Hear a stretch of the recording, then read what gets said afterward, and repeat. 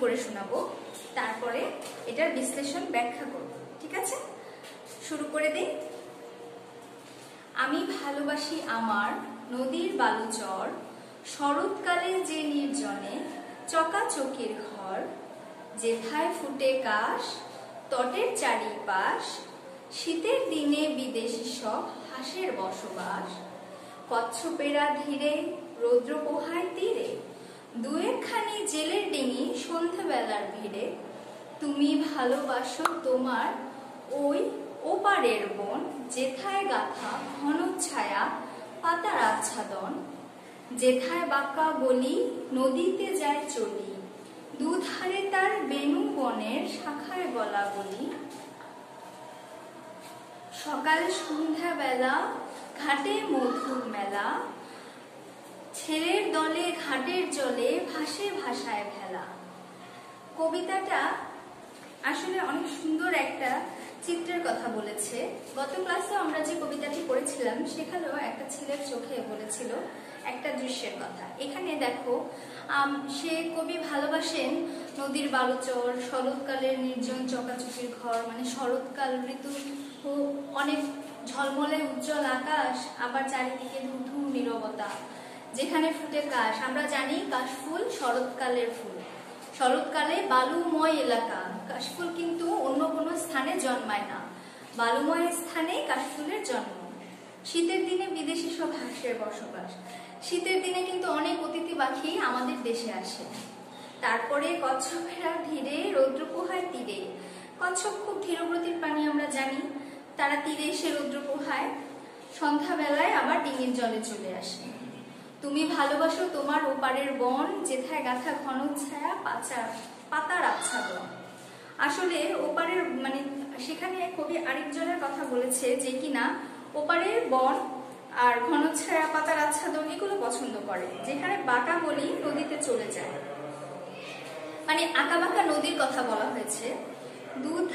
দুধারে তার বেনুবনের শাখায় গলাগুলি তারপরে সকাল সন্ধ্যা ঘাটে বধুর মেলা। মানে সকাল সন্ধ্যা পানি তুলতে এক সময় মানে পানি যখন আসলে পানির ব্যবস্থাটা এমন ছিল না যে ঘরে চাইলেই পাওয়া যাবে, তোমার ট্যাপের কলে পানি ছাড়লে পানি আসবে, এরকম না। তখন হচ্ছে ঘাটে গিয়ে কলসি কাঠে পানি নিয়ে আসতে হতো।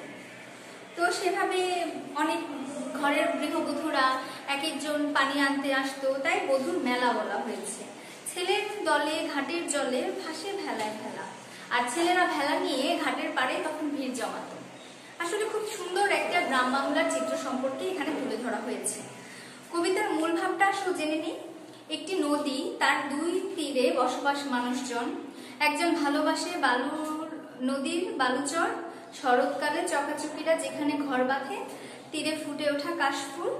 আর শীতের সময় এসে হাসিরা ভিড় করে কচ্ছপ রোদ পোহায়। সন্ধ্যায় জেলেরা ডিঙে এসে ফেরে। অন্যজন ভালোবাসে বন যেখানে যার আছে ঘন ছায়া। সেখানে থাকে একটা রাস্তা, এসে মিশেছে নদীতে। নদীর তীরে বধুরা আসে, ছেলেরা জলে ভেলায় ভাসে, দু নদীর তীরে মানুষকে সুন্দর মিলিয়ে দিয়েছে। এখানে দেখো, দুই তীরে। এই শব্দটা দ্বারা আমরা কি বুঝি? একটা নদী আঁকা বাঁকা বেয়ে চলা নদীর, এপার এবং ওই পারের মানুষের সম্পর্কে বলা হয়েছে। এপারের মানুষজন কি করে? এপারের মানুষজন হচ্ছে কাশফুল পছন্দ করে বালুর চর পছন্দ করে, সন্ধ্যায় বিভিন্ন শীতের সময় হাসিরা এসে করে, কচ্ছপরা রোদ পোহায়, এগুলো পছন্দ করে। ঠিক নদীর অপর পারের মানুষ কি করে? জেলেরা ভেলায় করে মাছ ধরতেছে, গ্রামের বধুরা পানি নিতে আসতেছে সকাল বেকাল দুই বেলা করে। তো দুই পারের মানুষের জীবনযাত্রার কথা আমাদের কবিগুরু কত সুন্দর করে ফুটিয়ে উঠিয়েছেন। এখন দেখি এখানে কিছু শব্দার্থ দেয়া আছে। আমরা সেসব শব্দার্থগুলো নিয়ে আলোচনা করি। আজকে আমি এক কাজ করব। তোমাদেরকে প্রত্যেকটা শব্দ বোর্ডে লিখে লিখে আলোচনা করব, ঠিক আছে? তোমরা চাইলে এখন খাতা খুলে বের করে সেগুলো খাতায় উঠাতে পারো।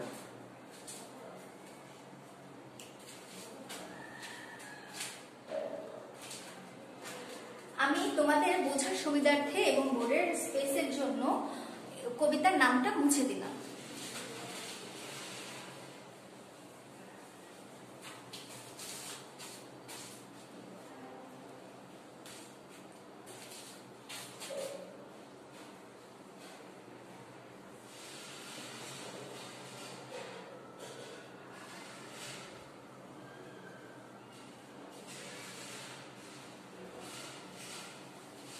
এখানে প্রথম শব্দটা দেয়া আছে নির্জন নির্জন মানে আমরা সবাই জানি জনশূন্য স্থান বা জনমানবহীন স্থান যেখানে কোনো শব্দ হবে না মানে কোলাহল মুক্ত এমন জায়গাকে আসলে নির্জন বলা হয়। তারপরে শব্দার্থটা দেখি। চকাচকি। চকাচকি মানে হচ্ছে রাজহাঁস জাতীয় একটা পাখি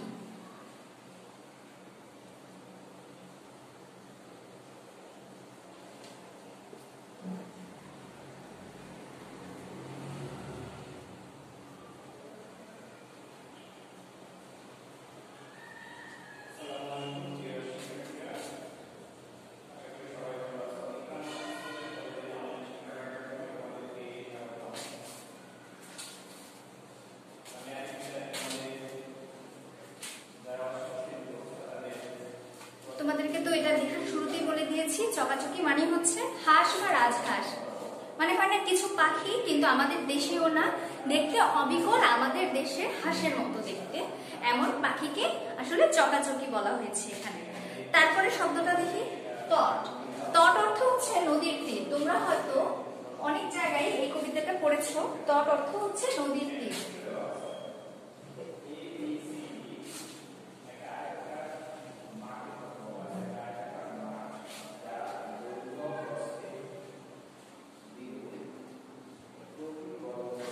আমার কলমের কালিটা ডিস্টার্ব করে তারপরে হচ্ছে ডিঙি ডিঙি মানেও হচ্ছে এক ধরনের নৌকা আমরা ছোট কিছু পালতোলা নৌকাকে আসলে ডিঙি বলি খুব বড় আকৃতির না একদম কাঠের ছোট ছোট টাইপের নৌকা আর কি। ডিঙি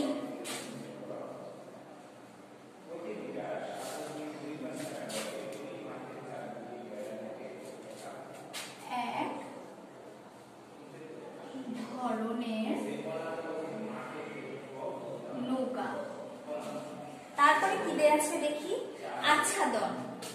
আচ্ছাদন মানে হচ্ছে ছাউনি। রোদ পোহানোর জন্য বা রোদের আলো থেকে রক্ষা পাওয়ার জন্য তুমি দেখতে পাবে আমাদের এখনও রাস্তায় কিছু যাত্রী ছাউনি তৈরি করা হয়। বাসের স্ট্যান্ডে বা মেট্রো স্ট্যান্ডে বা তুমি ধরো ট্রেন স্ট্যান্ডে, রেলওয়ে স্টেশন মানে সব কাছেই মানে রোদ যেন গায়ে না লাগে, অনেক সময় ধরে রেস্ট করার জন্য বা বিশ্রামের জন্য ছাউনি দেওয়া হয়। সেটাকে বলা হয় আচ্ছাদন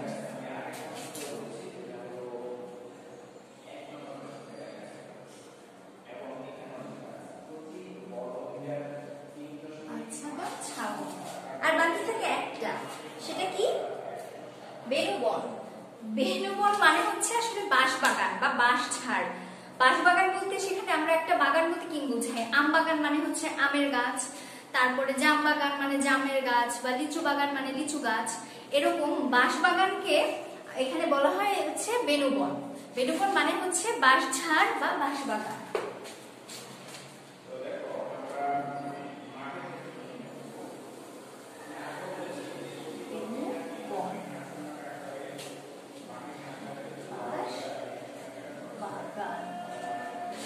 বাঁশ ছাড় কথাটা একটু কঠিন।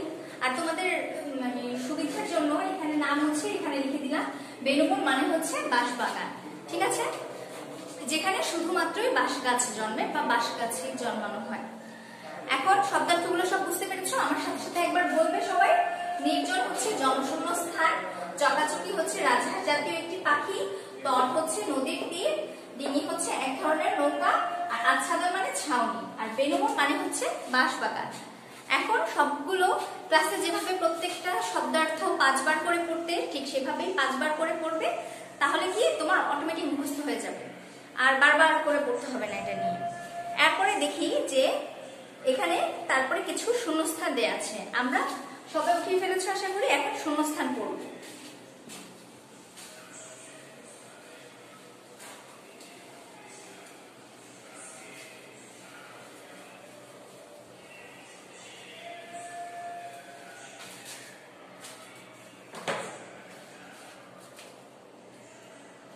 এখানে তিন রঙে এক দুই তিন চার পাঁচ ছয় ছয়টা শূন্যস্থান দেয়া আছে আমি পুরোটা লাইন তুলবো না আমি জাস্ট পুরোটা লাইন মুখে বলব আর শূন্যস্থানে কি বসবে সেটা লিখে দিব বোর্ডে ঠিক আছে খাতা কলম নিয়ে তৈরি থাকো সবাই আমি বলার সাথে সাথে বা আমি বোর্ডে লেখার সাথে সাথে তোমরাও সেটা লিখবে খাতায় ঠিক আছে এখন আমরা এখানে দেখতে পাচ্ছি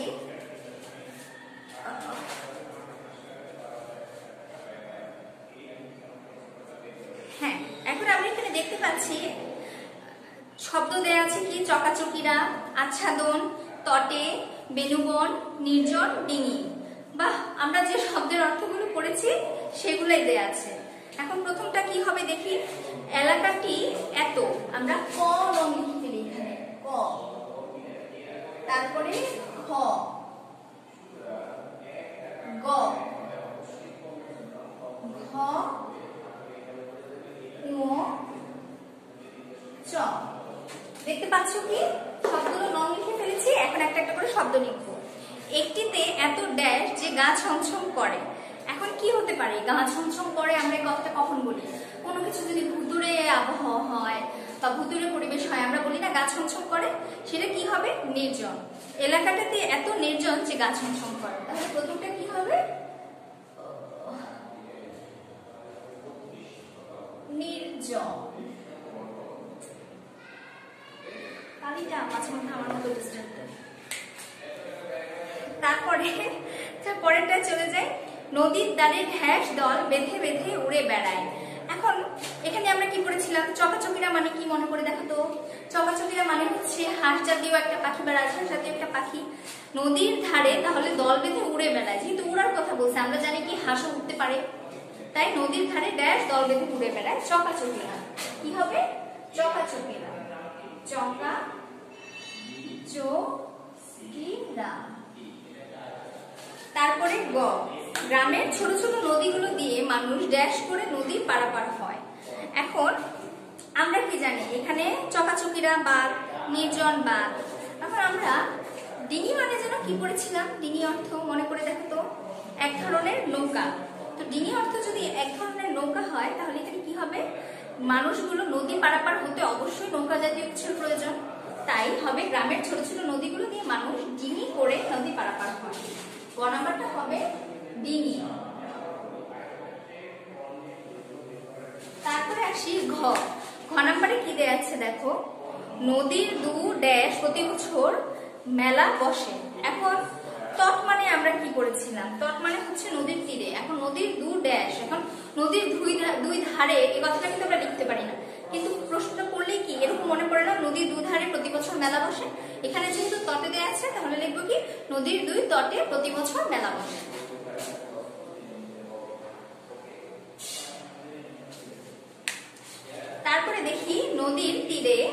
বটগাছটি বর্ষাকালে মানুষ ড্যাশ হিসেবে ব্যবহার করে। এখন, বর্ষাকালে মানুষ বটগাছ, বটবৃক্ষ নিচে কি আমরা ছায়া পোহাই না? রোদ বলো, বৃষ্টি বলো, আমরা কি ছায়ার জন্য বট গাছের নিচে যাই না? এখানে কি দেওয়া আছে দেখো? চকাচকি আমরা দিয়ে ফেলেছি, নির্জন, ডিঙি তটে সব দেওয়া শেষ। বাকি আছে কি? আচ্ছাদন আর বেনুবন এখন বেনুবন মানে আমরা কি করেছিলাম? বেনুবন মানে পড়েছিলাম বাঁশবাগান। এখন বাঁশবাগানের নিচে যদি গিয়ে তুমি দাঁড়াও আর তোমার উপর বৃষ্টি পড়ে, তুমি কি সেখান থেকে রক্ষা পাবা? তো তোমার গায়ে এসে পড়বে। বাঁশবাগান বা বাঁশ ঝাড় যারা দেখেছ, তারা দেখতে পারব ছোট ছোট পাতা হয়, যেটা আসলে বৃষ্টি থেকে আমাদের প্রোটেক্ট করতে পারে না। নদীর তীরে বটগাছটি বর্ষাকালে মানুষের ড্যাশ হিসেবে। তাহলে কি হবে? আচ্ছাদন। মানে কি? ছাউনি। আচ্ছাদন হিসেবে ব্যবহৃত হয়।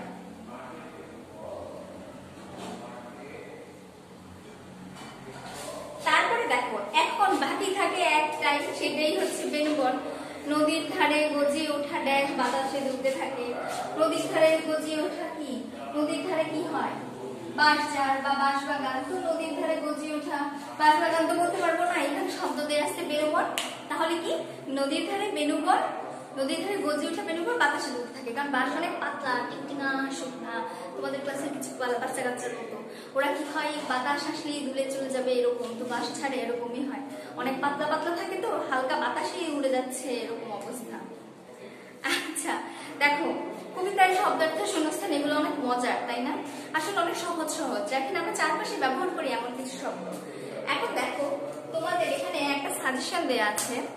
সেই সাজেশনটা হলো এই যে, দেখতে পাচ্ছ পাচ্ছ সবার কাছেই নিশ্চয়ই আছে।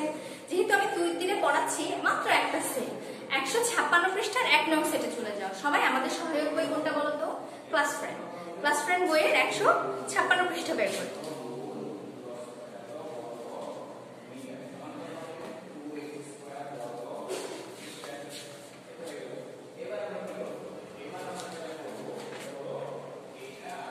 সেট নাম্বার ওয়ান মোটামুটি তোমাদের জন্য ইম্পর্টেন্ট এখন তোমাদের কবিতার একটা অংশ তুলে ধরে তিনটা প্রশ্ন আর শব্দার্থ দেওয়া আছে শব্দার্থগুলোও পড়ব প্রশ্নও পড়ব আমার মনে হলো কেন যেন তোমাদেরকে একটু ছোট ছোট করে মেইন করে প্রশ্নগুলো আলোচনা করে দেওয়া উচিত আমি কি সেটাই আলোচনা করি আগে তারপরে আমরা সেটে আসি ঠিক আছে এখন, নদীর বালুচরে কি ঘটে? আমরা কি দেখেছিলাম নদীর বালুচরে কি ঘটে?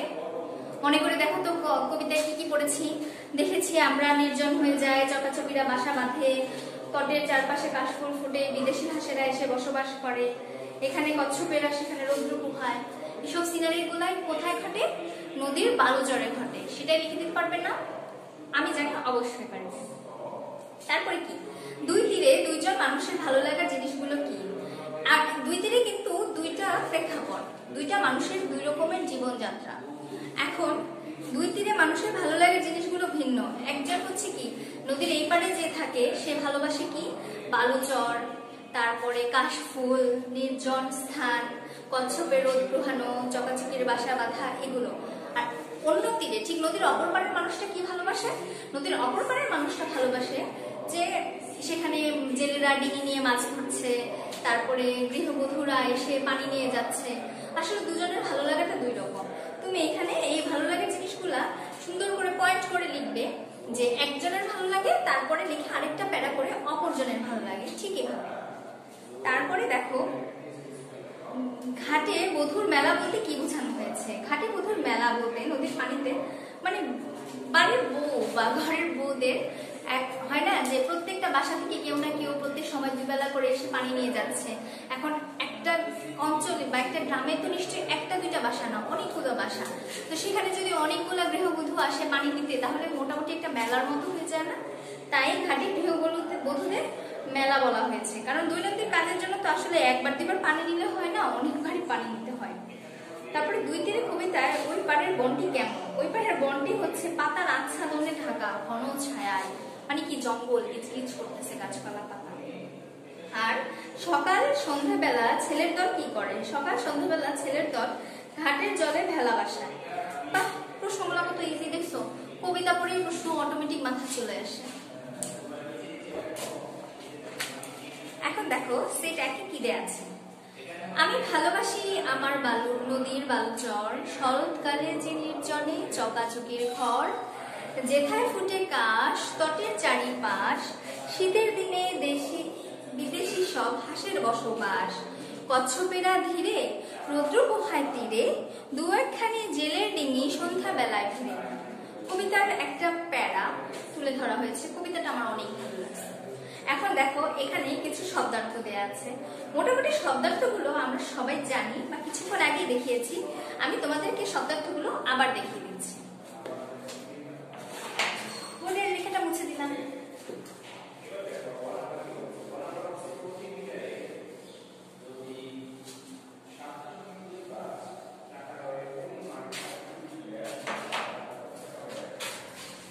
আমি মনে হয় কি, আগে তোমাদের বোর্ডে এপাশে তো দেখা যাচ্ছে, তাই না? একদম সবগুলো, সব প্রদত্ত শব্দ উঠিয়ে ফেলি, তারপরে একটা একটা করে অর্থ বলি। তাহলে মনে হয় তোমাদের জন্য সুবিধা হয়।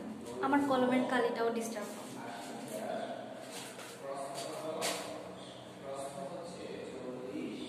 নির্জন বালুচর তীর চকাচকি ডট একটু ফাঁকা জায়গা রেখে ডিঙি চারিপাশ। চারিপাশ। সবাই দেখতে পাচ্ছ তো? আমি একটু চেক করে দেখো কিনা হ্যাঁ সুন্দর দেখা যাচ্ছে। কিন্তু এই দেখাটা অনেক ছোট হয়েছে, পচা দেখা যাচ্ছে। আরেকবার উঠে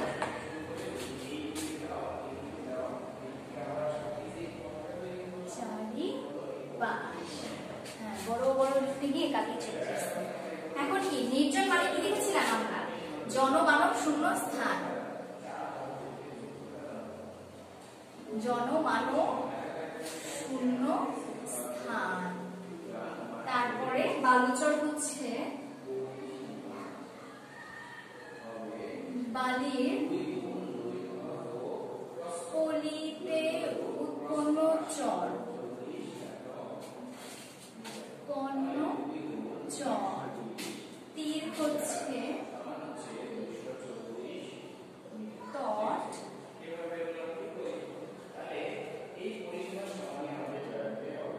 চকাচকে হচ্ছে হাঁস জাতীয় পাখি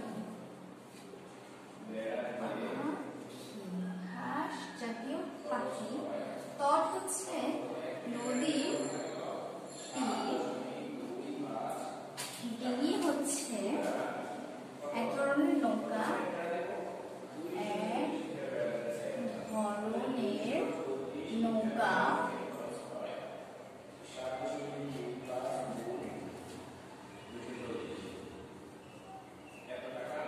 আর চারপাশ হচ্ছে আচ্ছা নির্জন শব্দটা সম্পর্কে পড়েছি। নির্জন মানে হচ্ছে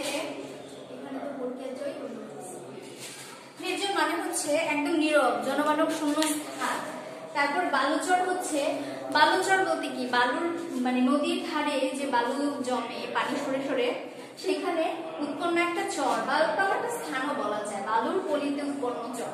তারপরে নদীর মানে তীর, বা তীর হচ্ছে কি? তট। আবার তট মানে কি? নদীর তীর। চকাচকি মানে হাঁস জাতীয় পাখি। তারপরে পেয়ে দেখো ডিঙি, এক ধরনের নৌকা। আর চারিপাশ মানে হচ্ছে চতুর্দিক। চারপাশ বলতে বুঝায় না, একটা রুম স্কোয়ার রুম ওই তো চতুর্ভুজ আকৃতিকে আমরা বলি না, চারপাশ। কারণ চারটা দিক আছে। সামনে, পিছনে, ডানে, বামে। আর ডিঙি তো এক ধরনের নৌকা, এটা তোমাদেরকে প্রথমে দেখিয়েছি। এখন চলো প্রশ্নতে চলে যাই। চকাচকিরা কোথায় এসে ঘর বাঁধে? চকাচকিরা কোথায় এসে ঘর বাঁধে? এক নম্বরের জন্য একটা প্রশ্ন। এখানে তুমি লিখবা কি, চকাচকিরা এক জাতীয় হাঁস মানে হাঁস জাতীয় পাখি বা এক জাতীয় হাঁস? এরা নদী, বালুময় স্থানে মানে নদীর বালুচরে এসে ঘর বাঁধে। শরৎ এবং শীতে নদীর বালুচরে কি কি দেখা যায়? চারটি বাক্যে লিখো। শরৎ এবং শীতে নদীর বালুচরে চার বাক্যে দেখা যায় কি কি বলতে বলেছে। বালুচরে চকাচকিরা ঘর বাঁধে, এক নাম্বার বাক্য। দুই নাম্বার বাক্য হচ্ছে, কাশফুল ফোটে। এটা সবসময় মাথায় রাখবা। কাশফুল সবসময় বালুর স্থানেই ফুটে, আর এটা শরৎকালে ফুটে আর তারপরে হচ্ছে, শীতকালে বালুচরে বিদেশি হাসিরা এসে বসবাস বাঁধে। তারপরে কচ্ছপেরা রৌদ্র পোহায় নদীর তীরে এসে। এই হচ্ছে চারটা পয়েন্ট মনে থাকবে না? এতক্ষণে মুখস্থ হয়ে যাওয়ার। নদীর বালুচরের সৌন্দর্য কেমন হয় চার বাক্যে লেখো নদীর বালুচরের দৃশ্য অনেক সুন্দর। এখানে চারটা বাক্য যেহেতু বলেছে তুমি চারটা পয়েন্ট নিয়ে লেখার চেষ্টা করবে। যেহেতু সহকারে বইয়ে যদিও ব্যাখ্যা করে দেওয়া আছে, সেখানে কি বলা আছে? নানা ধরনের পাখি না পাক পাখালি রানাগোনা দেখা যায় কাশফুল ফোটে, জেলেরা এসে ভিড় করে, সব মিলিয়ে দেখতে খুবই সুন্দর একটা নদীর চর বা বালুময় স্থান। সত্যি তো, কোনো একটা নদীর পাশে যদি বসে থাকো, চারিদিকে নীরব, নিস্তব্ধতা মানে মনে হয় না যে চোখ জুড়ায় যায়, মুগ্ধ হয়ে যায়, এরকম একটা ব্যাপার। এই সেটটাও অনেক সহজ আল্লাহর মধ্যে আচ্ছা এখন এই সেটের থেকে আশা করি তোমাদের না বোঝার মতো কিছু নাই, সবকিছুই বুঝতে পারছ। এখন তিনটা প্রশ্ন, শব্দার্থগুলো বাসায় অবশ্যই ভালোভাবে পড়বে, তার পাশাপাশি লিখবে, ঠিক আছে? আজকের মতো এ পর্যন্তই। আমি আবার তোমাদের আরেকটা ক্লাসে আরেকটা নতুন পড়া নিয়ে আসব। আগামী ক্লাসে হয়তো তোমাদেরকে আমি দেখিয়ে দিব যে তিন ও চার নং মানে কি? যেটা বইয়ের বহিরাগত সেখান থেকে। ঠিক আছে? ভালো থেকো, সুস্থ থেকো সবাই, বাসায় থেকো। আল্লাহ হাফেজ।